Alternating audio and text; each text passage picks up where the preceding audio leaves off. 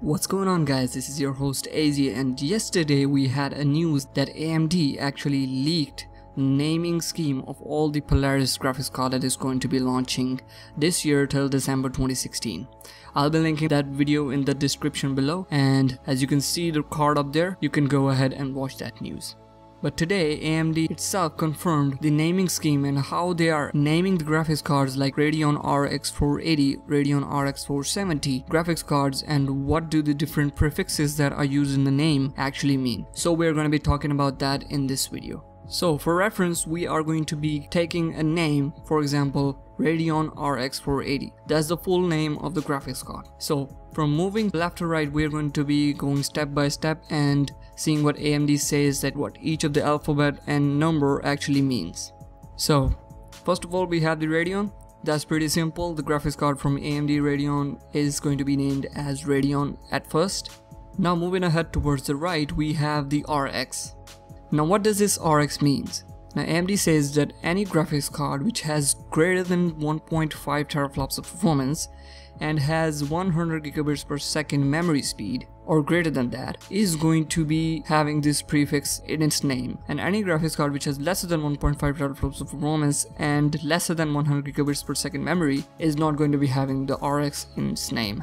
This 1.5 teraflops of performance and 100 gigabits per memory speed corresponds to the 60 FPS at 1080p in popular games such as Dota 2 and League of Legends etc what AMD is talking about right here, the graphics card that gives us 60 FPS 1080p gaming performance in the Dota 2 and League of Legends games like these is going to be having a prefix known as RX in its name. Now moving on ahead, we have the 4 in name. Now this 4 is actually corresponding to the generation number. Now we know that GCN is at 4th generation, so this series, 400 series, is going to be 4th generation series and is going to be named as 4 in its naming. Now moving on ahead, we have the next digit. Now this next digit is for the tier number. Now the tier, what are tiers? These are actually the market segments like 4K, 1440p and 1080p. Now for AMD there are three market segments that they are going to be touching with these graphics cards. First one is 4K, the second is 1440p, the next is 1080p. Now we know that RX 480 is going to be for 1440p. So if we find 8 in the name, we know that it's for 1440p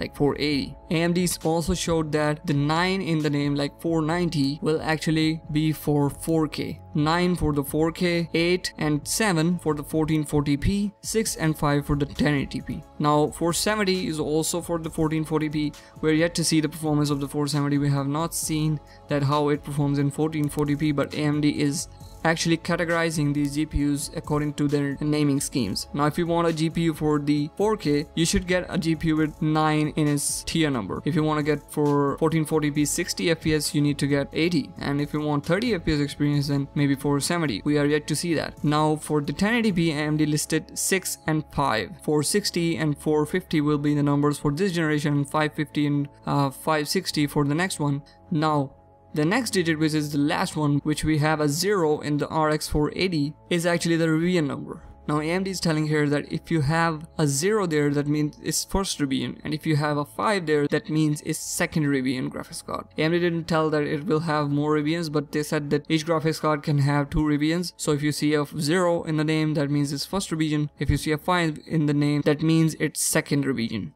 Okay, so guys, this was the naming scheme that AMD is using for its graphics cards, and we are going to be seeing these naming schemes in the coming years. Now, what do we extract from this? We found out that the Radeon is going to be having RX graphics cards and simple graphics cards, which are not with RX. The RX graphics cards are going to be 1.5 teraflops or more of performance. The new graphics cards are going to be having revisions. If you find a 9 in the name, it's for 4K. If you find 8 and 7 in the name, that means it's for 1440p. Now we don't know that AMD is actually going to be following these rules for the next 500 series and the 600 series or so but for this series this is a proper guideline to see that what do you want to buy. If you want to go for 1440p maybe buy 480 470 if you want to buy for 4k then maybe wait for the 490 so this is what AMD has categorized their graphics cards as as of now and I hope you found this video helpful guys. If you did, then leave a thumbs up and comment the comment section below what you think about this naming scheme. And the leak that happened yesterday was removed by AMD from their website.